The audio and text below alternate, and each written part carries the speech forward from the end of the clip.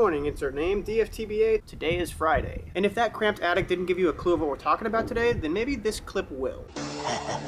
I trust you're comfortable. Who are you? Oh yeah, we really just went there. Back to 1987 in the animated Teenage Mutant Ninja Turtles. Although the show came out four years before I was born, I happily watched it via VCR, which looks like so. As you can tell, I'm not in my normal studio today. I thought it would be fun if we did something a little different. I'm gonna cut the talking short here, and we're gonna get straight into what we're doing today. And that is showing you how to set a rat trap. And this is our rat.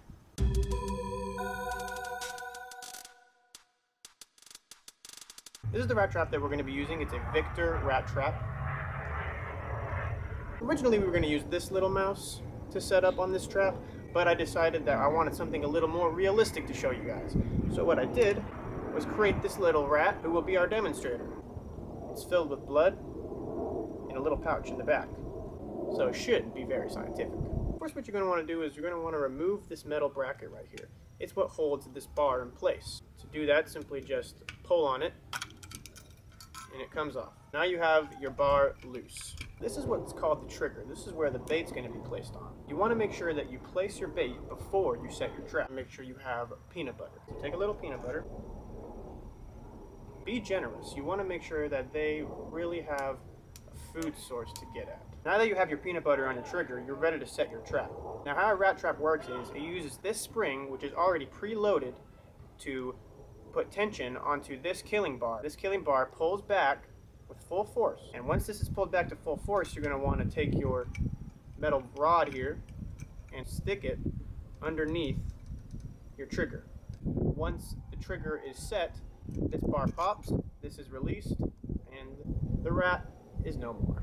So now let's set this trap. When setting, be as close as possible to the area you are placing the trap. That way, you have less distance to carry a live trap, thus reducing risk of premature release.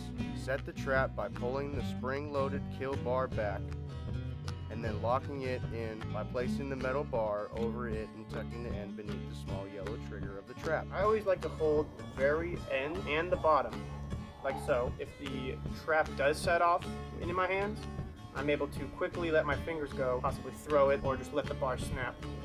Carefully move your hands out of harm's way and set the trap down slowly without bumping it. And there you go. It's now ready to mess up a rat's day.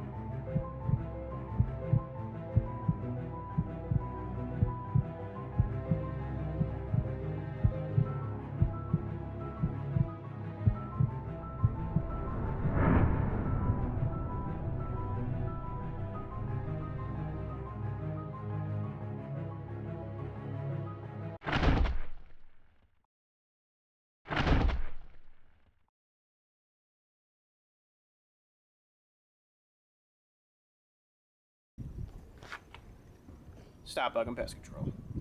Now let's answer the question of the day. Do rats eat mice? Yes. Known as muricide, this behavior takes place the same way every single time, which is why it's called a stereotyped behavior. Behavior is known before the action takes place. They already know what's going to happen. Rats will hunt, kill, and eat mice.